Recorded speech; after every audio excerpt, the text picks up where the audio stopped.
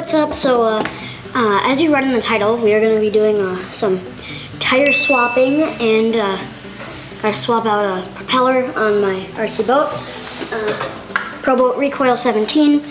Uh, so, the prop has three blades, but one of them broke off right here. So, I got to switch that off, and then after that,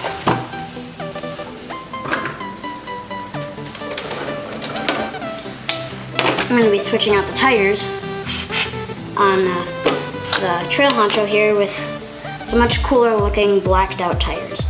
They're actually bead locks too, which is pretty cool. So before I do anything, uh, I'm going to need to get my tools out for uh, so I can get the propeller off. So go in here, of my random tools. These are actually parts for a different thing. I do woodworking now. Made this little box, except the wood split I screwed stuff in. Like focus, there we go. Got a bunch of spray paint up here. So it's kind of turned into a woodworking shop. I made this trailer for my boat. Uh, this is a different one that I used in my last video because that one was really weird. So I made this new one, looks a lot better, works a lot better. So back to it. There we go. I'm just gonna use this. This is for tire swapping, but it'll work good. So, just gotta grab the boat and get started. Okay, got the boat. Just gotta grab the propeller here. This is actually a two pack of propellers. Um, that is nice because uh, I'll probably break another one at some point. So, if I do break another one, I'll have a spare propeller. I'm just using a staple from this thing to rip open the package. Okay, this isn't working. I'm just gonna get the scissors. Got scissors here.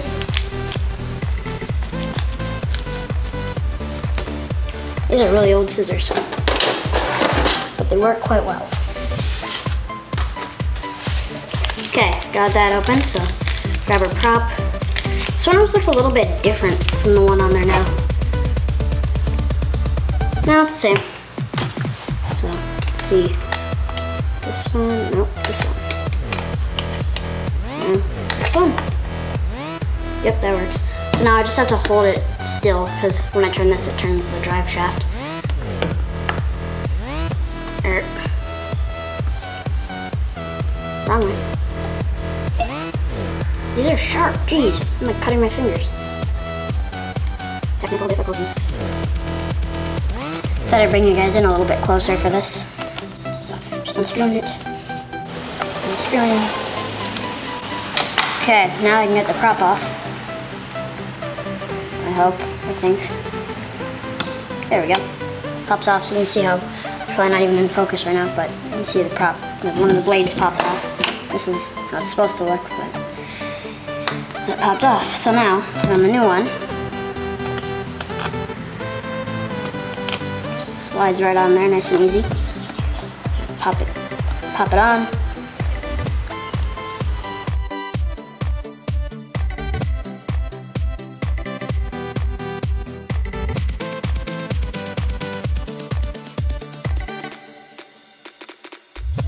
Oh, it's starting to go. I'm just gonna push down really hard.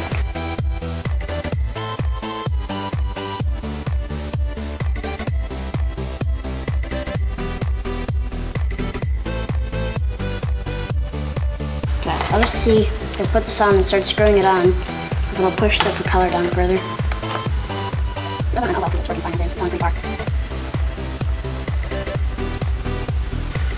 Oh, now it's on. Good. Okay, well, that's fixed. Straighten it. Yeah, everything's working good. That's awesome. Okay, now onto the tire swap stuff. Okay, so uh, now we're gonna put the tires on the Trail Honcho. So grab the tires. These are, if you're wondering, uh, Pitbull tires. These are the Rock Beast 1 9 scale tires. Have a 1 10 scale, but these are gonna fit fine. So got our rims here. These are bead locks, so you don't really need tire glue because they screw on.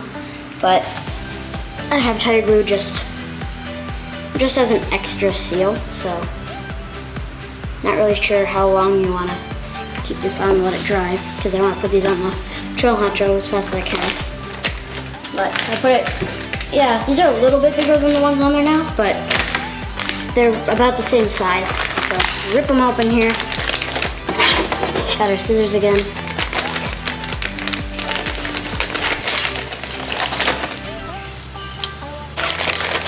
I don't even need to rip this thing off. I can just cut it off.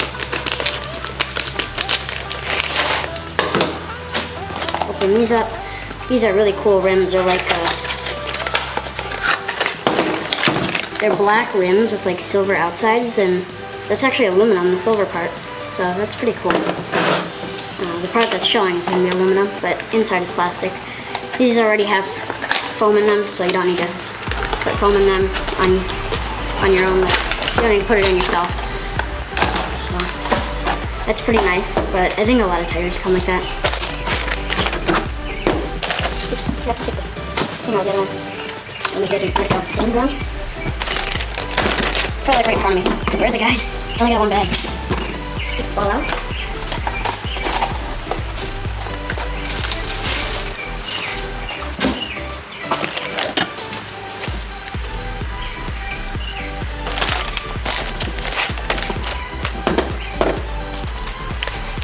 Of course, is right in front of my face, right under that rim. They're pretty good sized tires. I mean, if I put them on my hand, it's a good size. Uh, it's something to compare them to. Um, here's uh, just a general like Traxxas battery right here. If you guys have like a Telluride or something like that, Stampede maybe, that's a good idea of the size of the tires right there. I like to give people a good idea of the size of stuff when I get the chance to, because I don't know. A lot of some people wonder. Oh, there's stickers. More stickers to add to my sticker collection of stickers. I just had to say that. Got my little bag of Allen wrenches.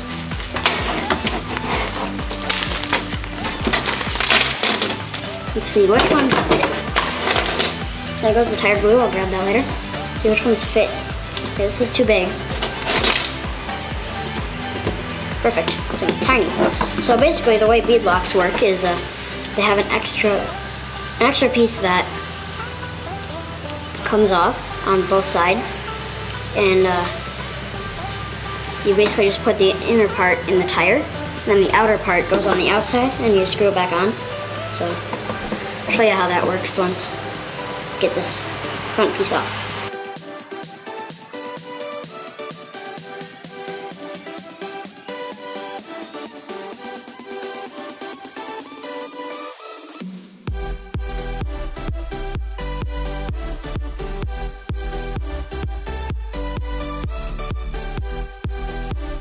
Okay, I got both of the pieces off here, and then the inner part. I'll show you how this works. So basically, you just like pop this inner part into the tire. It's kind of hard to do. Okay, there we go. Got it up, so I'm just pulling it around here.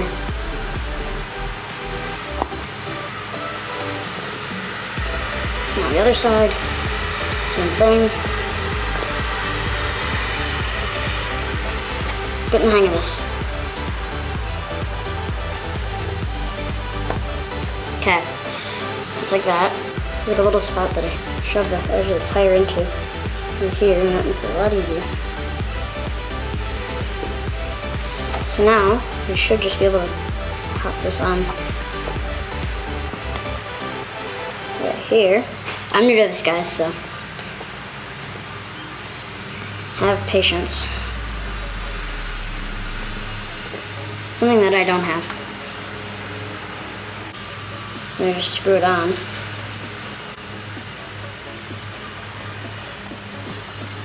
it pretty much just like clamps down really hard on it.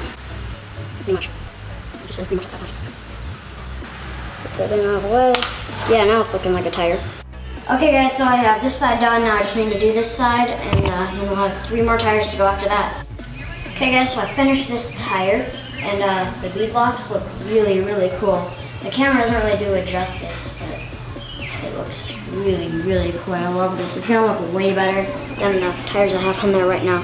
They're actually fake beadlocks. uh, that came with it. So these will look a lot better. So one down, three go. Okay guys, so uh, if you're wondering how to put on these bead locks, um, uh, this will be like a little demonstration of how to do it.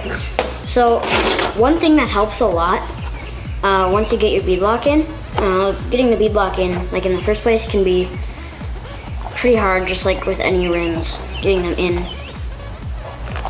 It, getting them in the tire, sometimes it's easy, sometimes it's hard. With these, it's pretty hard, these specific ones. One thing that helps is just kind of take the edge of the tire, not the foam, and just kind of pull it up. And then go in with the other side and just pull the foam away. And push the bead lock in. Stick a finger in and try to pull it up. I got this before. Okay, there we go. Now I got it. So just kind of work your finger around it like this, just so you can get it up on the thing.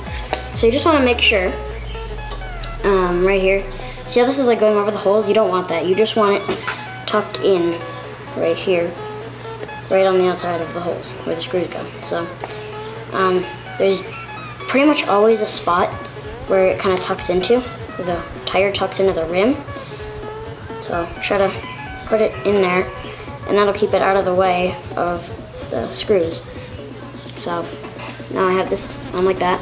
So now I'm just going to take my uh, bead lock disc thing and I'm just going to put it on here like this and you just screw it in. Nice and simple.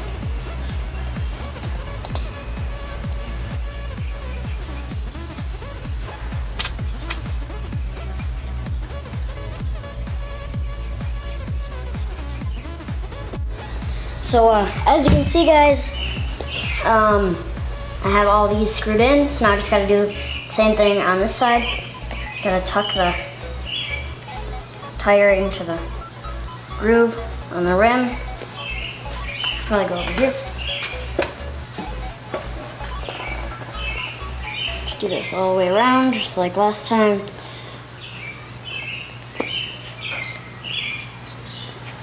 Okay, now it's in.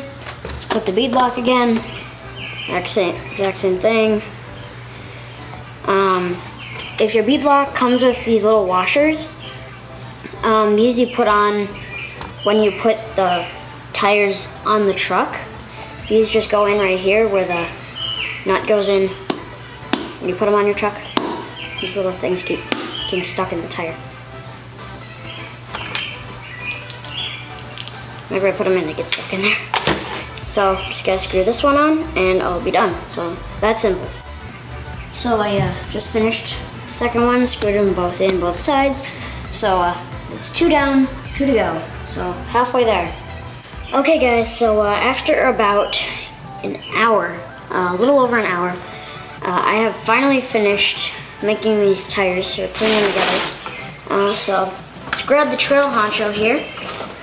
Oh, tires over to the side. And now we just gotta take the tires off of this thing and then put on the Trail Honcho tires. So I'm just gonna unscrew, there's these little caps on the tires right here, so I'm just taking those off right now. So I'll just take a little tool thing here and uh, we'll start taking the tires off here.